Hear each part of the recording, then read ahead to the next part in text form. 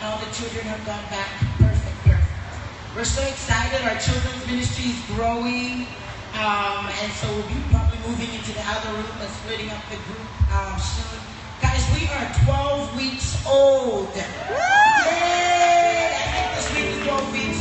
I'm just so excited about what the Lord has done, what He's doing.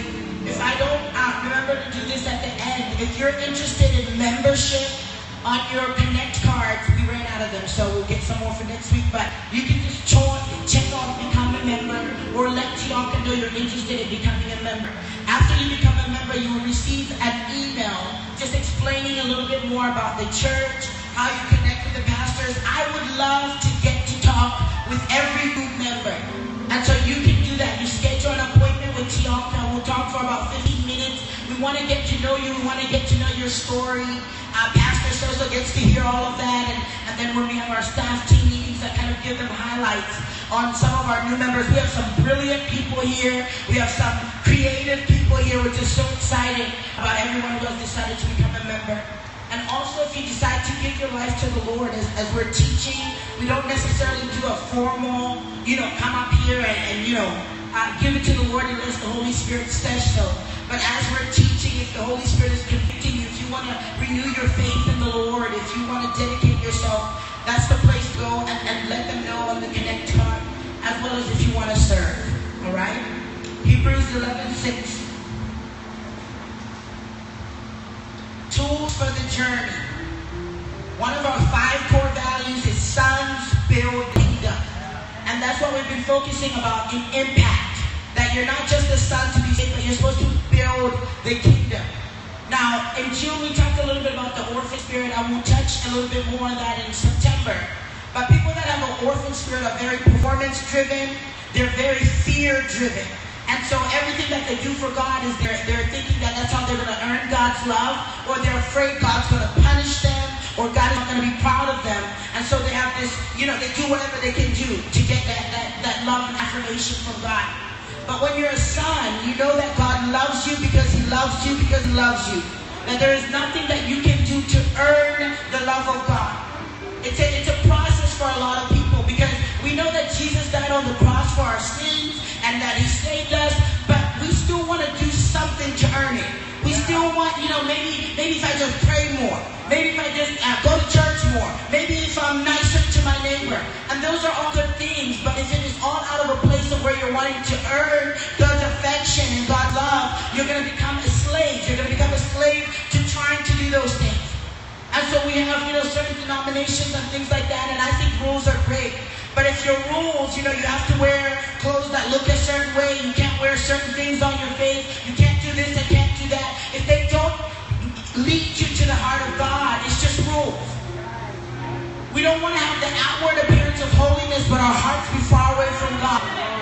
And so a lot of times when you're dealing with an orphan spirit, it's like, but I do everything right. I'm trying to stay away from the club. I'm trying not to curse. I'm trying not to, to drink. And the Lord is saying, just learn to love me. Just learn to adore me. Just learn to worship me. And the more we gaze in the image of God, the more we don't want to do certain things. The more we know God, the more it's not even a desire anymore. Then the deeper you get into God. And that's when you know you're going into. When it's not about what you can do out of your own efforts, but your desire is just to love Him. It's just to know Him. It's just to grow in Him. And then all of a sudden you're like, mm, I don't want to dress like that anymore. Or, mm, you know, you, it just it just falls away. So orphans, they, they, they feel like if they do things for God, then they're building the kingdom of God. But sons know that if we learn how to worship Him, if we learn how to spend time with Him, we'll have no choice but to want to do something for Him. So a son builds the kingdom of God out of relationship. So for example, when we talk about family, you know, my son doesn't have to earn my affection. I love him. I love him because I love him because I love him. But because he's part of a family as he's growing up, and he does this now, he'll say, I want to set the table. Oh, I want to help sweep. I want to help clean. He knows that he's part of a family where he's loved. That's what it looks like when you begin to walk as a son. Your response to, you know, I don't know how to do photography, but I'm willing to learn. Or I don't know, you know, how to do anything else, but I'll stack up your chairs. That's all the response out of because I love God. Not because I want people to see me or because it makes me feel, you know, better. So we're learning how to uh, respond to God's love for us by partnering with Him in doing something for Him. We're not doing this to earn anything. We're not doing this, you know, so we can get on a checklist. It is a response to His love. All right? So let's go to Hebrews 11 6. And without faith, it is impossible to please God. Because anyone who approaches Him must believe that He exists and that He is a rewarder of those who earnestly seeks Him. Let me read that again. And without faith, it is impossible to please God. What does that mean? In order for all of us to have at least accepted Jesus Christ as our Lord and Savior, we were operating out of faith. We believed in God that we've never seen. Right? We believed the story when we heard that He died for us, that He rose again. There was a level of conviction that made us say, Yes, I believe this. Yes, I want to be a part of this. That's the first level of faith. All of us have a level of faith, and that He, you know, He died and that He rose again. But as we're maturing in God, God wants our measure of faith to begin to grow. And we talked about this when we talked about the spiritual gifts. This is your first tool, faith. In order to make an impact, you need to have faith. When you come to the Lord, have your measure of faith, and then He's going to begin to ask things of you. He's going to ask you to step out and pray for someone. He's going to ask you maybe to give a little bit more than you had planned to give. He's going to ask you maybe to love someone that you don't like. All those things require faith. But the more that we step out in that faith and we obey, the more our faith grows. And so we talked about some people are born with the gift of faith where you just believe God for anything. Whatever He says, I'm at it. And some of us have to work up at it. But if you are obedient and you obey God every time, your little measure of faith can outgrow the person who was born with the gift of faith. It's all about your level of obedience. And so, as believers, one of the things that God is always going to require from us is a measure of faith. Because it is impossible to please Him without that. And so there's always, and there should always be something in your life that is bigger than you. You should be believing for something bigger than just the basics every day. One sign that you're growing in God is that He gives you maybe crazy dreams. Or maybe He has, has you believing your family members to be saved, that no one is saved. Or He has you believing for a cure for cancer. Or He has you believing, you know, to be a millionaire so you can start hospital over Africa. Your love, your, there has to be a measure of faith in your daily walk.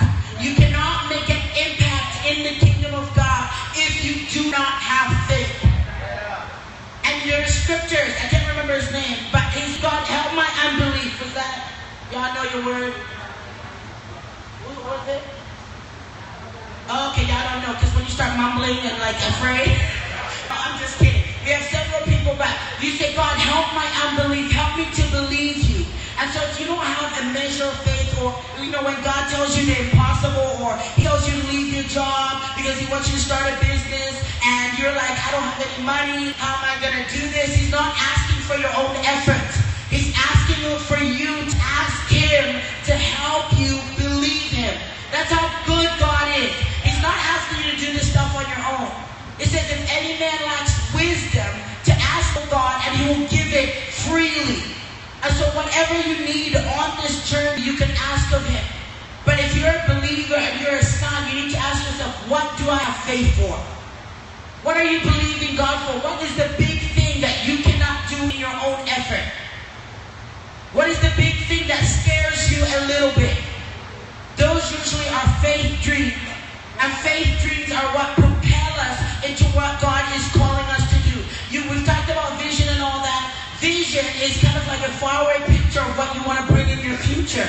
And you cannot walk into what God has shown you if you do not believe Him.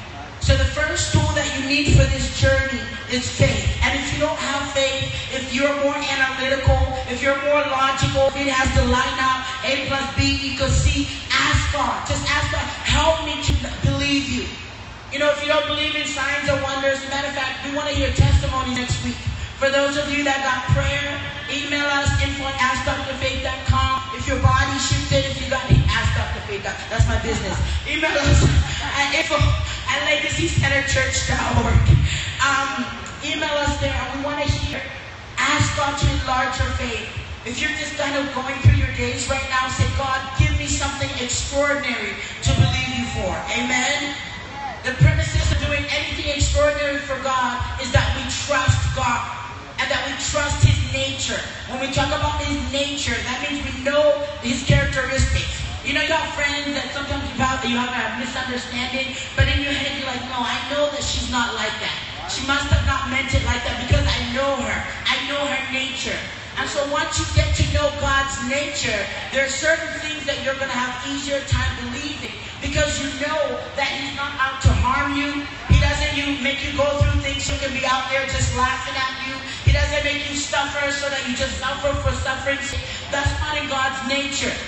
The nature of God, the core nature of God is love, and the core nature of God is His goodness. As a matter of fact, it says that He created us out of benevolent.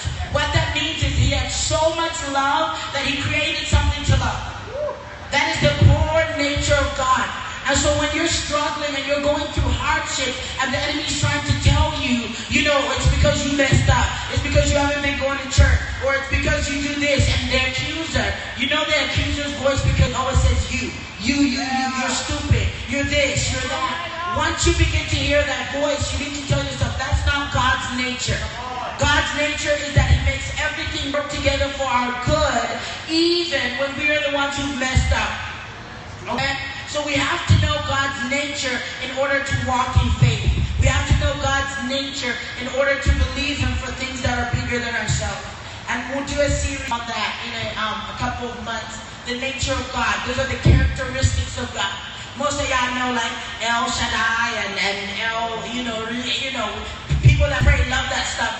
You have to pray so hard and you're calling all the names of God. But we're to go through the nature, the nature of God. That is kind, that is just, that is fair. All those different things. We'll go through that in a couple of months. All right, the next tool that you need to make an impact is unity. There is nothing that you can do for Christ on your own. God made it that way. He, you know, create man in our own image. Let us, the Father, Son, and the Holy Spirit were together, and they're one, and they conspired, and they made humans.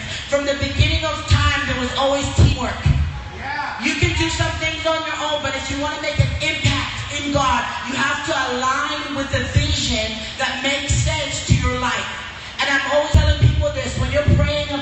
A church to be a part of or you know a ministry to be under, you want to look at the vision of that ministry. You want to look at where they're going, and the tenets of what they're saying should you know make you get excited. It should align with what your passion is. It should align with where you're going.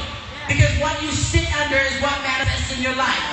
We talked about that in the deliverance session. Remember how they did that example? It was powerful. And so you need to be really careful when you're trying to join a church or a ministry. Say, what is the vision? What do you guys believe? Where are you guys going? What are the things that you want to do here?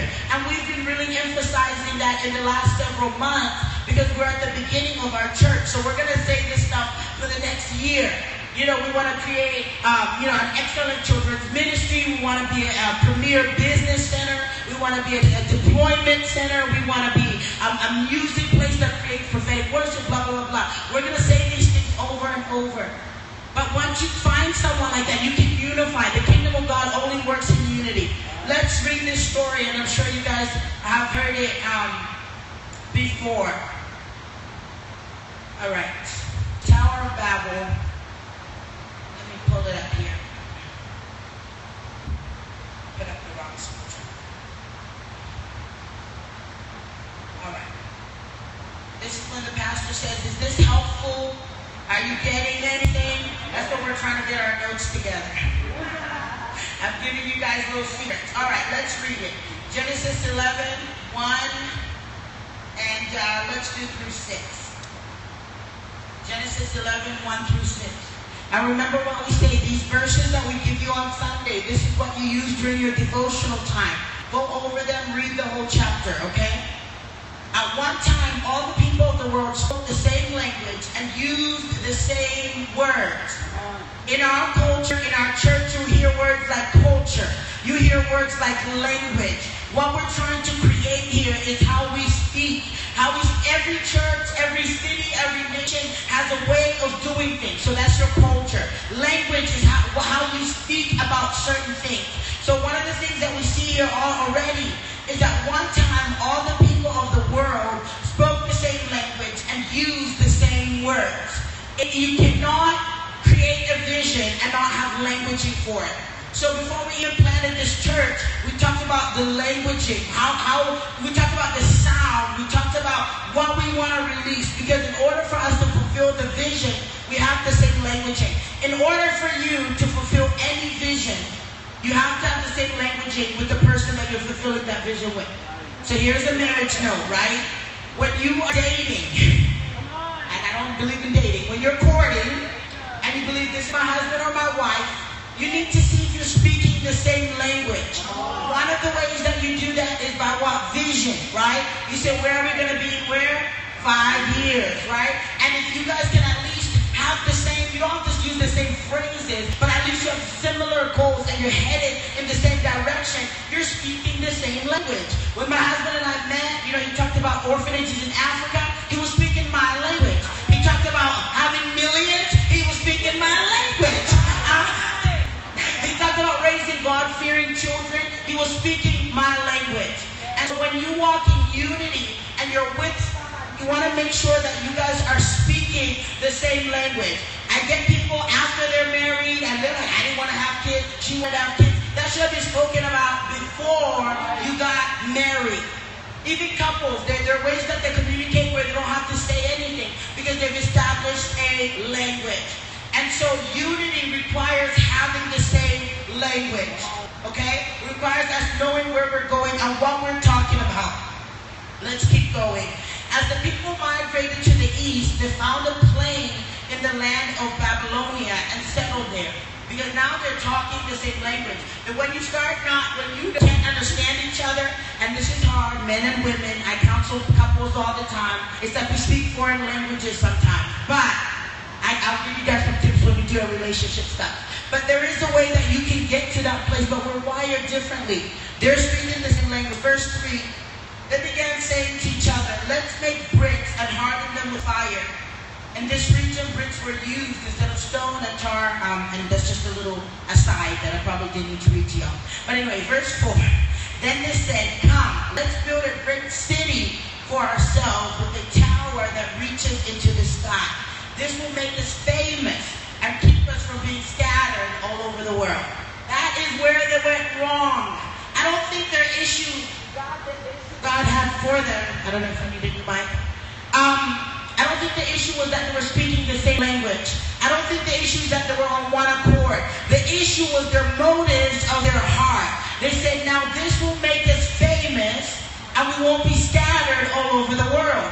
One of the reasons vision does not go forward, why your life does not go forward, is that your motives are not pure. Are you going to school and working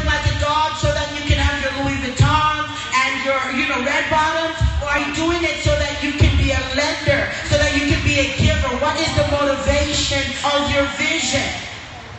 One way that unity is unity is that you have the same motivation.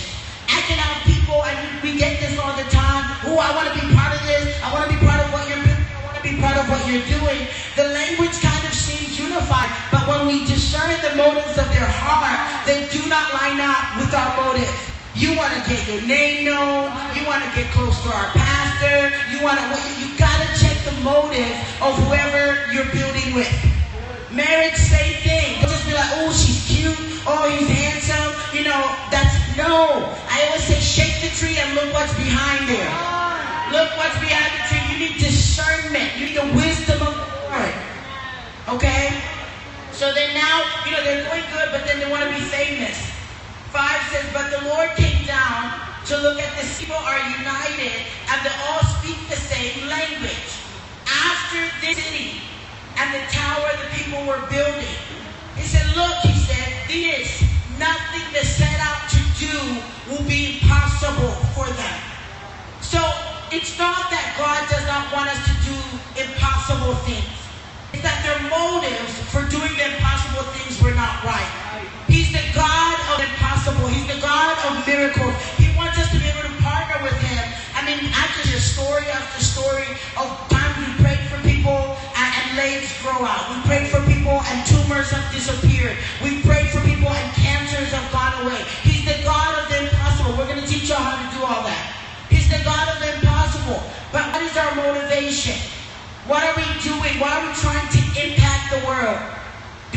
be the next Hillsong or Bethel or, I don't know, Anwar, whatever church you love?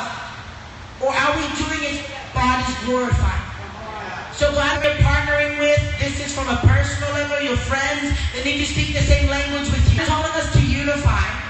You need to have unity. You need to have one language. If you're not going in the same direction, you're ultimately going to go opposite direction. Being equally yoked, when they talked about cattle being yoked, is that a yoke that tied their necks together. And that's how they walk together. But when you speak two different languages, if your goals are different, if you're trying to grow in the Lord and they're not, you guys are going to become unequally yoked. Either going to kill you or you're going to have to unyoke yourself from it. You can only go forward with people that are unified with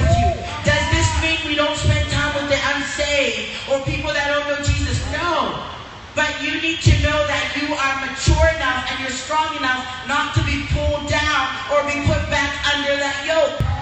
Jesus only did that because he was strong enough and mature enough, and he also understood the impact that he had because he carried the kingdom of God in him. So now, as you know, I carry the kingdom of God. If I go and you know with Augie or the other evangelists into the club, Stephen, and I'm not going to start dancing and, and, and backing it up. I'm going to do what I'm called to do there. I'm going to find the people I'm supposed to give the prophetic words to, and I'm going to dip. Right? I'm going to head on out. But if you're still struggling when the, you know when the beat drops, you might want to stay out of that, out of that ministry. Now we love to dance. Uh, remember 10th through the 12th is our women's uh, conference, and the 12th is the gala that we want the whole church to come to. I won't dance there. We're not one of those churches that believes you can't dance. But you know, if, if you're getting too close, we're gonna have to put a ruler, you know, just something to separate. But we will, uh, we will do that. All right, let's keep moving. Let's keep moving. I'm gonna be up here long. All right. So we need to have one mind and one language. Whether it's with someone that you're building personally, whether it's business partners, whether it's church, you want to make sure that you have one mind, one language. The next thing is prayer. Prayer births vision. Prayer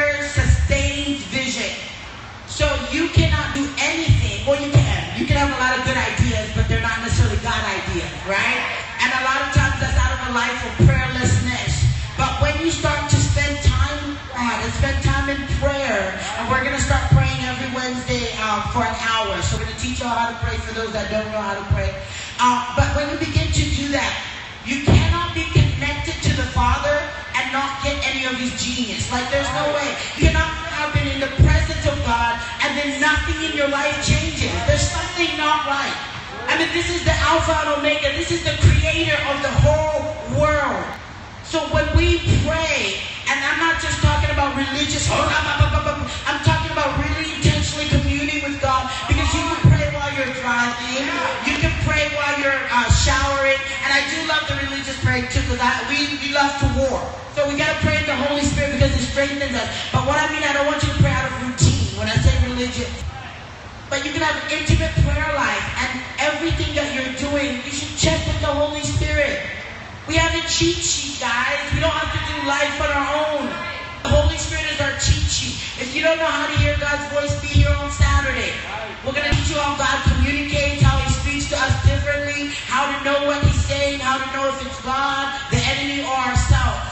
when you pray, God is going to begin to release something into your heart. So if you don't have vision or you don't know where you're going, you spend time in prayer. All right? Once you have birthed that thing in prayer, meaning now I see it, I have an idea of what God wants me to. The only way it's going to be sustained is through prayer. Because there are going to be some days in your life where things do not look like the prophet said or look like what you saw in your prayer time. But if you stay connected, prayer is just relationship with God. Prayer is just talking to the Father.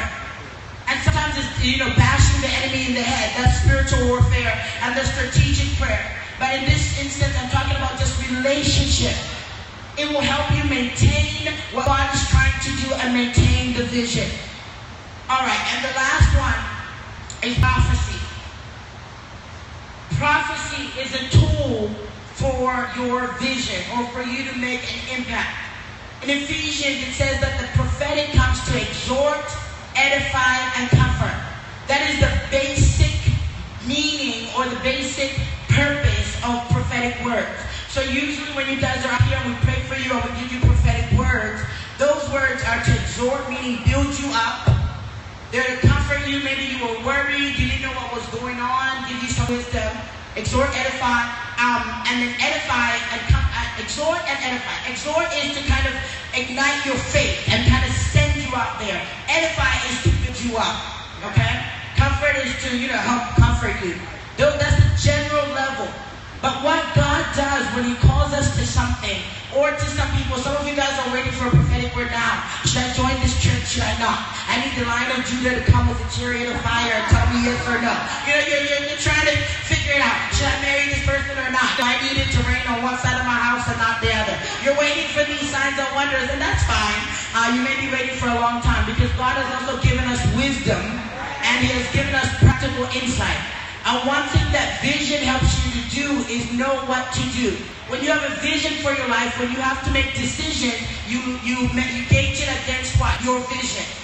So, okay, if I'm going here, if this is what God has called me to do, if this doesn't line up with that, I'm probably not supposed to do it. If this guy does not really match what God has called me to do and where we're going, it's probably not it. That's it. You don't need all these signs and wonders. You just need to have clarity on your vision. But prophecy comes to help us in the times when we don't know what to do. Prophecy is also a weapon of warfare. And what you do with your prophetic words is fight the enemy with them. When you begin to get discouraged, when it begins to look not how you had hoped it would look, when you begin to get frustrated, you say, no, this is the word of the Lord. This is what God has declared. I, I stand with what God has spoken over my life. I'm not going to believe this lie that the enemy is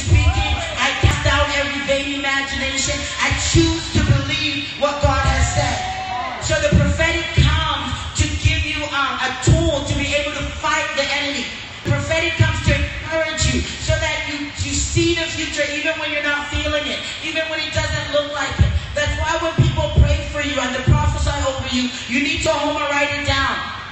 That is one way to steward your prophetic words. What we call stewarding is taking care. When God's voice speaks, you need to steward it. That's why I'm so happy to see you guys writing and taking notes. You guys know this is a teaching church, so you, you, you're prepared.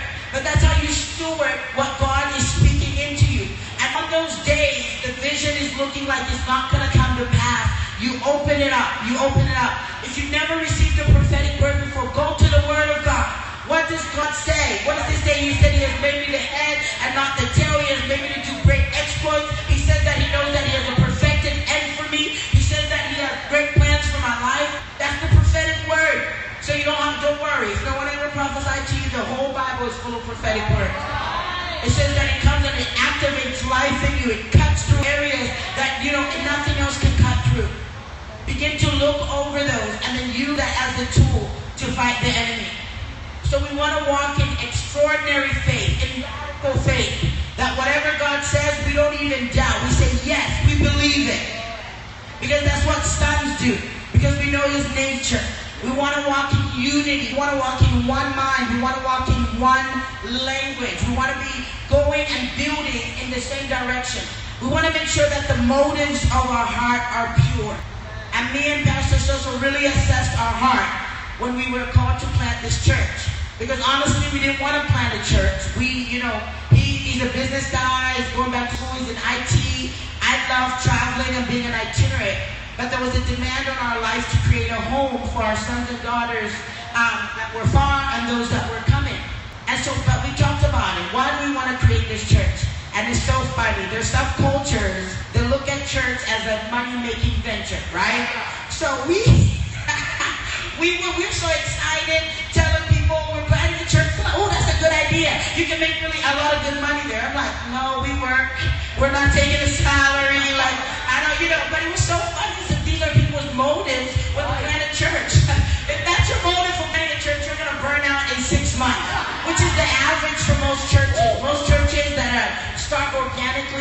Church, you have churches that are planted from another church, right? Those tend to do better because they have the backing, the money, and they send the team.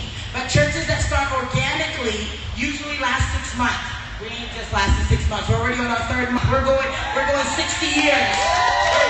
And I won't be the pastor. We won't be the, we won't be the pastors in seven years. Okay? Our job is to build up pastors and raise them. Don't get scared. Don't already start making your exit plan.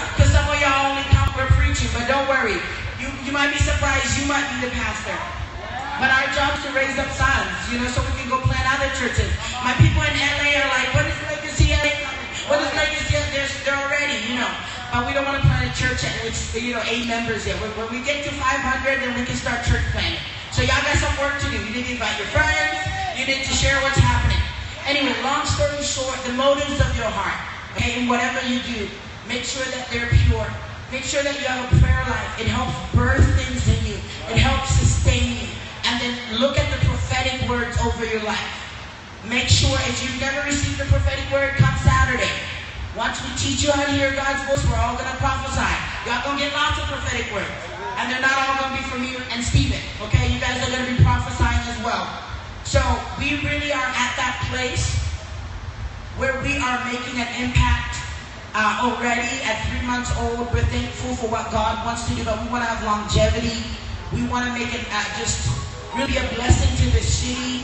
There's a lot of things we haven't unraveled yet, some partnerships with other churches and other ministries that we're going to be doing. We have some amazing big name folks that are coming here, uh, but we want to make sure that we, we understand the vision and we're on one accord. Amen?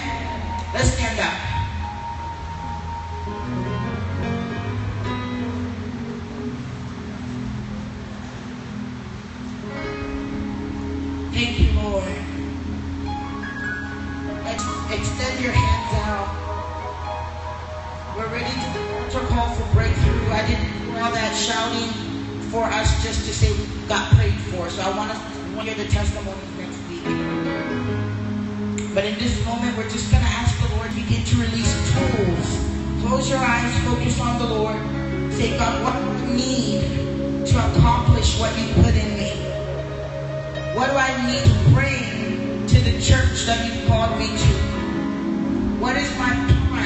In this big story? Because Raleigh's not just a story, and our friends from Richmond are here. And that's just not the story. There's a global story. Yeah. There's a global storyline, and we're gonna ease you guys into that little by little. So what is what is my point? You're not just made to be a dot in the earth. You're not just a little ant to God. He knows the number of hairs on your head. He's concerned about every single thing. And the reason the enemy has been so after you is because he's afraid of you discovering how powerful you really are. So God, we ask this morning that you begin to minister. That whatever hindrances have been in the way, whatever has kept us from going fully in and say, God, I'm running for you. I'm running for you. My future is bright in you. Whatever that is, God, I expose it. Bring it to the surface. Oh.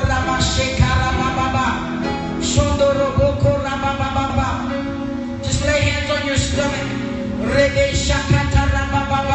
Where there's been fear, Shaka, Robo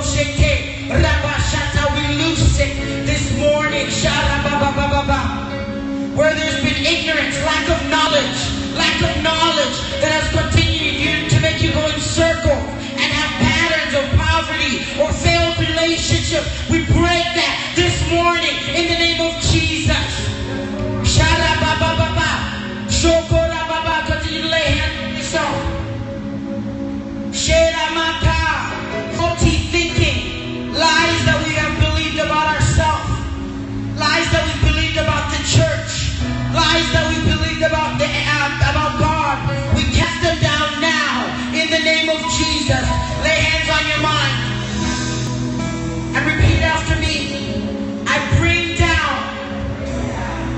every vain imagination, every thought that exalts itself against the knowledge of God.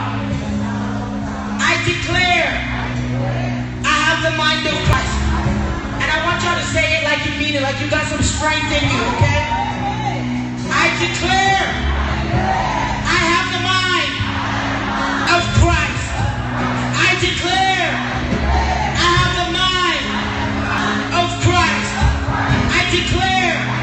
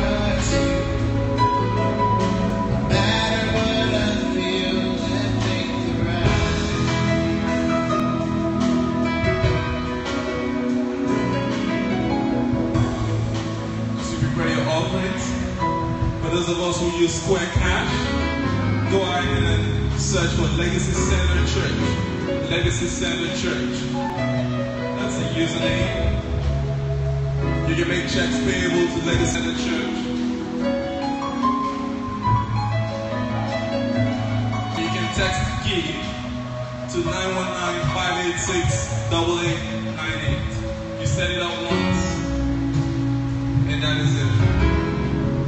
Uh, if you have your offerings ready, let's go ahead and stand up. Let's go ahead and just, just come ahead and give your offering in no particular order. You can come if you want to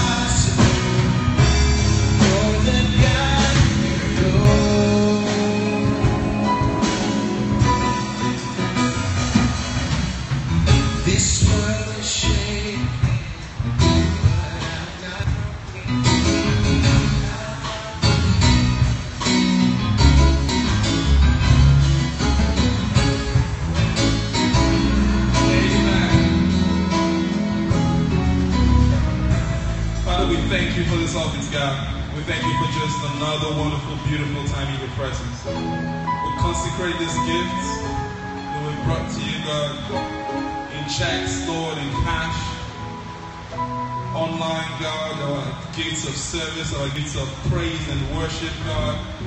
We ask, God, the Lord, please be consecrated to you, Jesus. And Lord, let me use the oh, Lord, for your gospel, for your work, oh, Lord Jesus. And Lord, we thank you for those who have a yearning to give but do not have to give. We just pray, Lord, for a multiplication. We pray that you provide, God. And we just ask you us to step into faith for the rest of the week and we give. The Lord, you continue to prosper us, that you increase us in every front.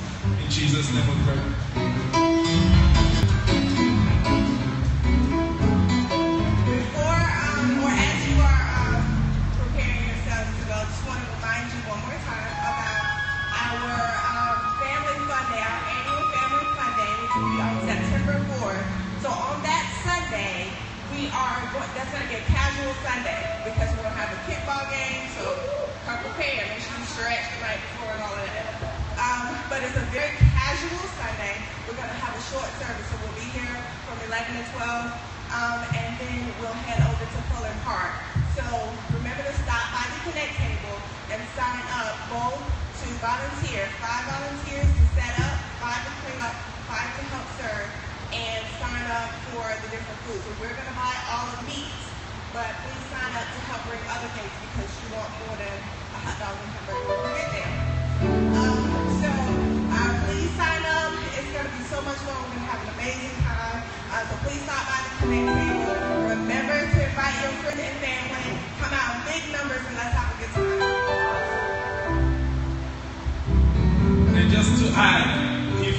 volunteer, please be sure that you're going to be part of the fun. Don't think you're just going to be volunteering and standing, so you're going to be part of the fun. So don't feel, you know, yeah. I just want to use the opportunity to welcome and, you know, just say hi to people who came all the way from Virginia, our sister church. Let's acknowledge you.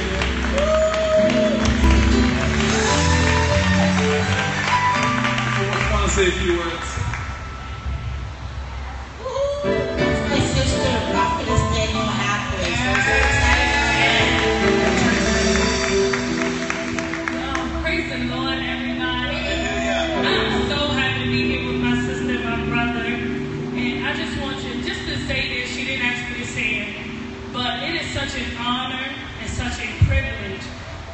A leader or leaders who are not intimidated by the gifts that surround them. It is such an honor, say it again, and a privilege to have leaders that are not intimidated by the gifts around them. And I'm so thankful just to, to know you guys and to be a part of you guys. And this church is awesome. And what God really placed in my spirit was this church, and you guys have awesome ability and the anointing to see true conversion take place. And, and not just, watch this, it's not just from people that are not saved, it's from unsaved to the saved. But it's going to be, you have an awesome anointing to break down false religions. And, and I'm telling you, it is such a great day because it's not going to be done in the way we think it's going to be done, um, like the church and the move of the Spirit and all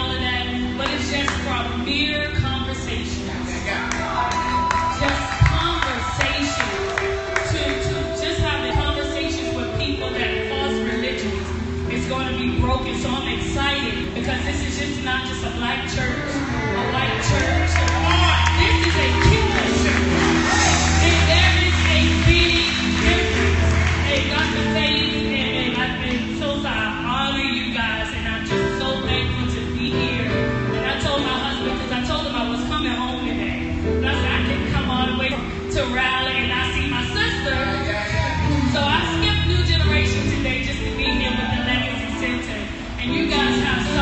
great. So if you are not a member, I encourage you to go ahead and join. You will not be disappointed. Amen. Amen.